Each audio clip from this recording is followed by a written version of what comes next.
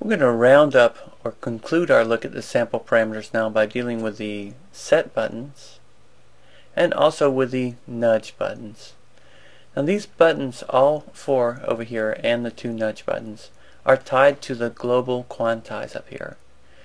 And to really get the best effect out of these, we're going to want to pull this value down to at least a quarter note. Now you can experiment with these more later, but this is a great way again to create some new clip ideas. We're going to start with the arpeggiator. I'm going to start a basic drum pattern behind it. And then add in the arpeggiator.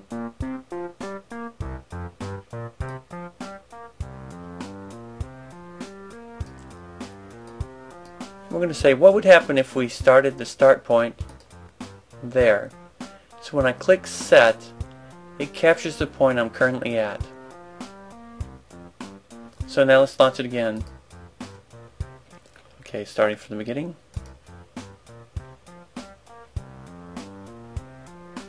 So it only plays 8 of the short notes, then jumps into the long.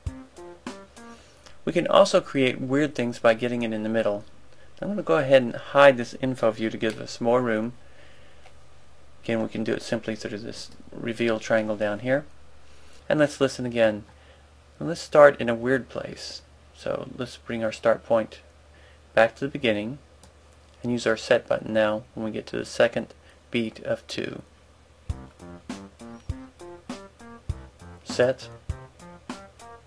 Now let's launch it.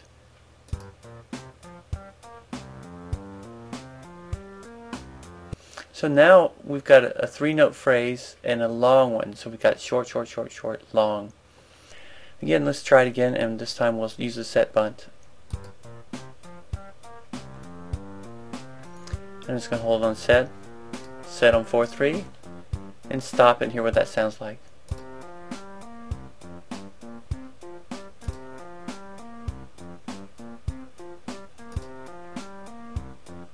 So you can hear now that we've got a completely different pattern just by changing the start point. And the great thing about the set button is that we can hear it live.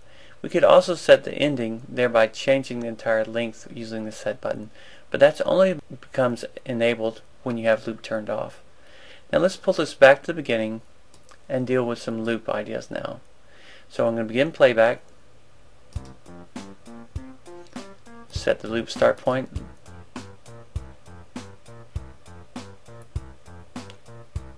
So we can do that by ear. Let's pull this back to the beginning.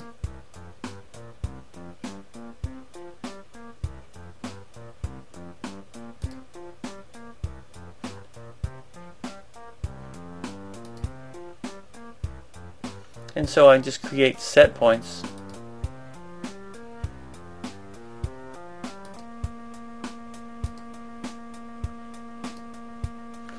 So we can create very short ones and very long ones. Let's pull this back to the beginning now. Typing in 1 period 0 period 0 and enter. And pulling my loop length back out. Now we can use these loop points as the song's playing along etc and create new vibes in here. This is also great to do with your nudge buttons but notice these are grayed out until I begin playback. Here's spacebar they immediately become active. Now again, these nudge the start and end points are tied to the global quantize. So I'm going to jump ahead now. When I click on this, I'm going to jump this line ahead a full beat or behind a full beat. Just continually nudging back.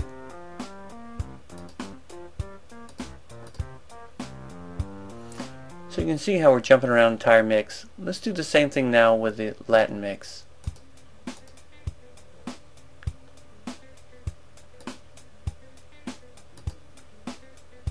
Now this will do better when we get down here where it's louder. Nudge forward, nudge back,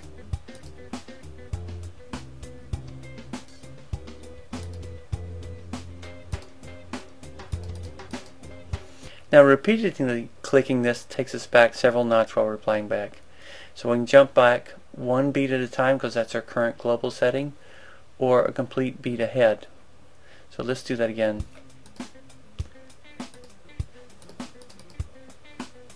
And jumping ahead several.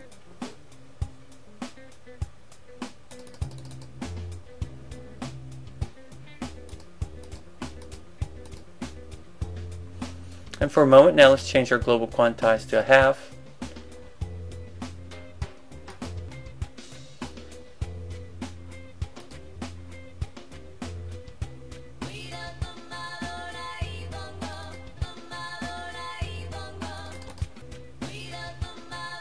And so every time I click on this backwards, back, back, back, back, two,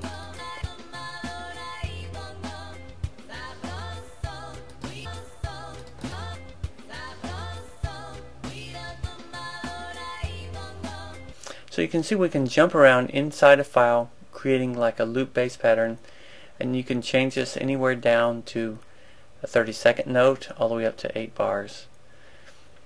So again to get the most out of this you're going to want to change your global quantize off its standard 1 bar setting and you can use your set points here and again these nudge buttons but they only become active when you're playing back live. So again this feature of the nudge works even better when you've got a complete arrangement going around you and you're moving drums or bass line in and out. That concludes our look at the parameters inside our sample box.